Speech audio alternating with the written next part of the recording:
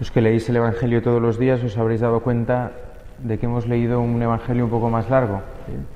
Ayer al ser la fiesta de la visitación leíamos un Evangelio específico, pero claro, para poder adentrarnos en el Evangelio de hoy sin toda la parte anterior, pues era difícil. La liturgia permite, cuando pasa esto, que se corta la continuidad del Evangelio, poder unir dos Evangelios en la misma misa y así que tenga un sentido también. ¿Eh? Porque si no, de repente hoy empiezas, ¿con qué autoridad haces esto? Y dices, ¿el qué? ¿Eh? ¿Qué ha pasado? ¿Qué ha pasado?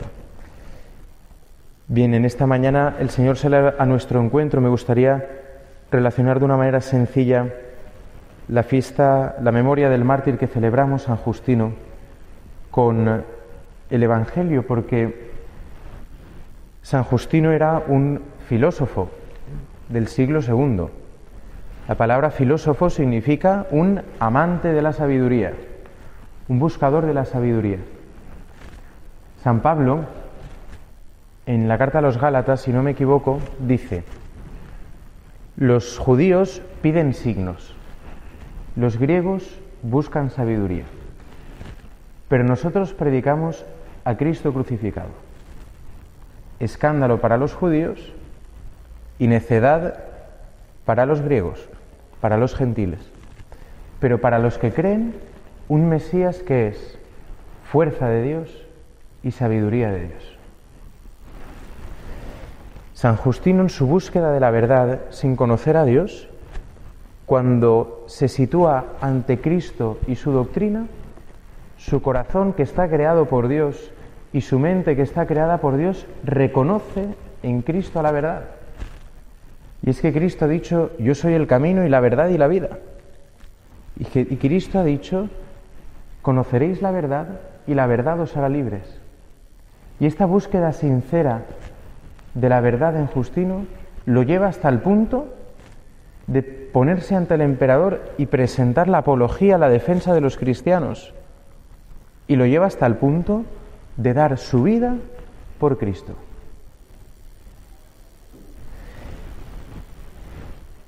¿Qué relación tiene esto con el Evangelio de hoy?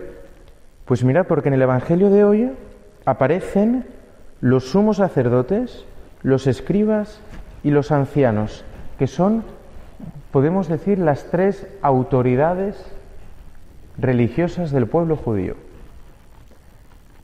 Aparentemente, hombres de Dios, hombres que tienen la misión de custodiar la relación del pueblo con Dios y de Dios con el pueblo hombres que tienen la autoridad hasta jurídica, hombres que se dedican a la lectura de la escritura, hombres que se dedican a ofrecer los sacrificios en nombre del pueblo, a mantener el culto, que es la forma de relacionarse con Dios que tiene el pueblo de Israel. Y sin embargo Jesús está mostrando algo nuevo, hace un signo profético muy fuerte lo de la higuera está unido también aquí, pero a lo mejor es mucha bola hoy. ¿eh? Lo que está hablando Jesús, esta maldición de la higuera, va unido, dice, oye, si no era tiempo de higos, ¿por qué la maldice? ¿Cuándo va a buscar un higo? ¿no? Va unido a lo que Jesús dice en otro momento del Evangelio, velad y orad. ¿Eh? El sarmiento que da fruto lo poda para que, para que dé más fruto, ¿eh? y al que no da fruto, lo corta. Pues Jesús está diciendo que viene en nombre de Dios a buscar fruto en el pueblo de Dios. Y después de todo el Evangelio, estamos en el capítulo 11 de San Marcos, después de todo el recorrido que lleva Jesús, llega a Jerusalén. Y cuando entra en Jerusalén, en vez de ofrecer un sacrificio, en vez de mm, pagar al sumo sacerdote para que ofrezca comprar unos animales y ofrecerlos, de repente monta este lío tremendo. Llegaron entrando al templo, se puso, se puso a echar a los que vendían y compraban, volcando las mesas de los cambistas y los puestos de los que vendían palomas. Y no consentía a nadie transportar objetos por el pueblo, por el templo. Cuatro cosas hace. ¿Quiénes vendían y compraban? Pues mirad, si había que ofrecer sacrificios de animales, alguien los tendría que vender, sobre todo porque imaginaros, ¿no? Jesús llega, venía caminando desde Galilea ¿Podían llevar animales todo el camino para ofrecer en el templo? Pues no. ¿eh? Allí había gente que se dedicaba a vender los animales para poder ofrecer los sacrificios. ¿Quiénes eran los cambistas? Los cambistas eran los que el templo tenía una moneda especial propia del templo y entonces se dedicaban a cambiar el dinero que traía la gente de los otros lugares, incluso de los otros países, para poder comprar allí o para poder echar en el arca de las ofrendas la ofrenda que se hacía a Dios. Y para todo, ¿eh? la gente está transportando objetos, haciendo cosas. Y es que Jesús está eh, mostrando ya que viene el momento que Dios anunció por medio de los profetas. ¿De qué me sirven vuestros sacrificios? les dice. Jesús va a decir esta palabra para explicar por qué ha hecho lo que ha hecho. ¿No está escrito mi casa será casa de oración para todos los pueblos? Vosotros, en cambio, la habéis convertido en una cueva de bandidos. ¿De qué está hablando Jesús? La cueva de bandidos no es donde los bandidos roban. Jesús no está diciendo esto que hacéis es robar a la gente por los cambios de dinero, los sacrificios, no, no. La cueva de bandidos es donde los bandidos se esconden después de haber robado, donde guardan el botín, donde se sienten seguros. Eso es la cueva de bandidos, donde piensan que nadie les puede hacer daño. Hay unos profetas que lo expresan de esta manera, ¿no? Dice, matáis, robáis, engañáis, pero luego llegáis aquí y decís, es el templo del Señor, es el templo del Señor, es el templo del Señor, y os sentís tranquilos, Dice, pues vuestra oración es vana, no será escuchada, porque no va unida a vuestra vida. ¿De qué está hablando Jesús? Mirad, está hablando fundamentalmente de dos cosas. Está hablando del paso, del salto de una religión sin fe, de una religión meramente ritualizada, en la que el corazón está lejos de Dios y de una religión que a través de los sacrificios pretende ganarse el favor de Dios, a pasar a una religión vivida desde la fe, en la que el hombre se presenta ante Dios y sabiendo que no puede ofrecer nada para complacer a Dios. Tened fe en Dios.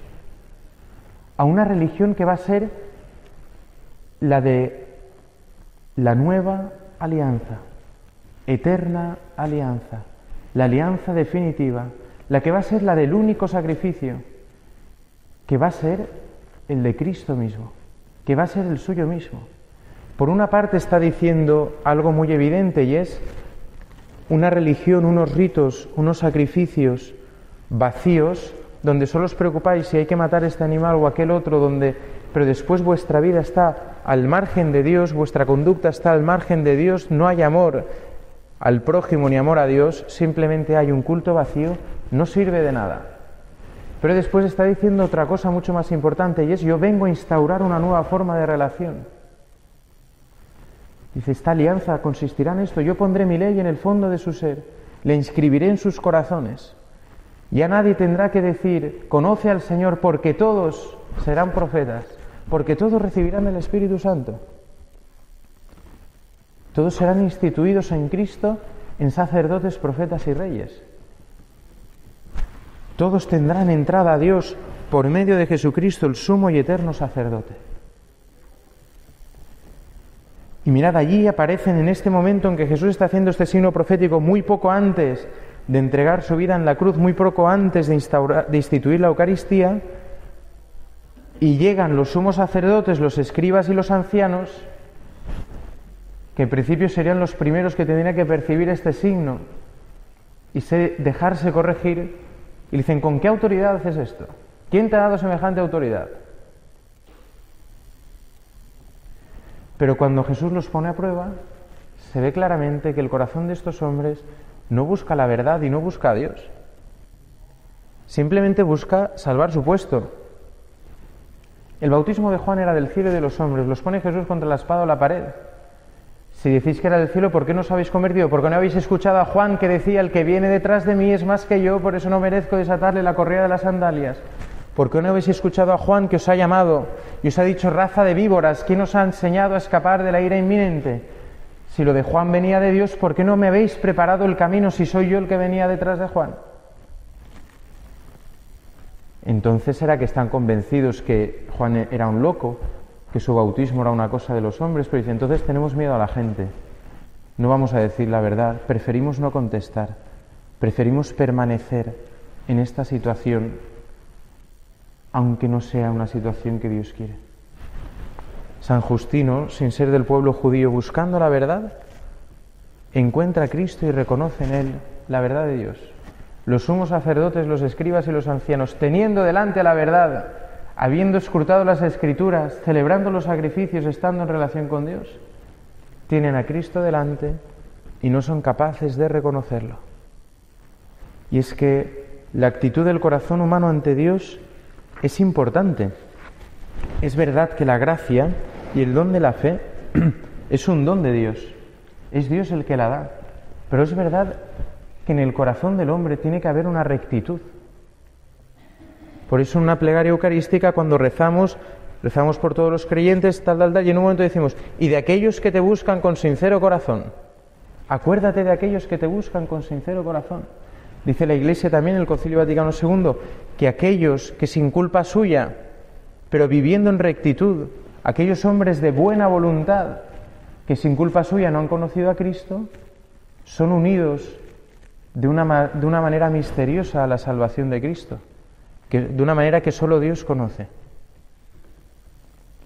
En esta mañana yo te invito a que, pidiendo la intercesión de San Justino y también de una manera especial de María Virgen, como cada sábado, podamos entrar un poco dentro a la luz de la palabra de Dios y decir, ¿y cómo está mi corazón? He convertido la religión He convertido los sacramentos, la oración, mis devociones, en una cueva de bandidos, en un lugar donde tranquilizo mi conciencia, pero sin ninguna intención de que Dios transforme mi vida?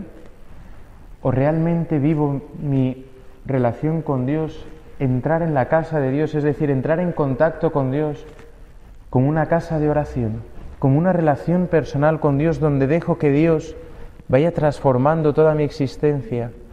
para asemejarme a Él, para hacerme santo, para que pueda conocer la verdad y la verdad me haga libre, para ser liberado del pecado, para dar testimonio de Cristo. Pues que el Señor nos dé luz para conocer cómo estamos cada uno y nos dé fuerza para poder responder a su gracia que nos transforma, que nos santifica y que hace nuevas todas las cosas. Que así sea.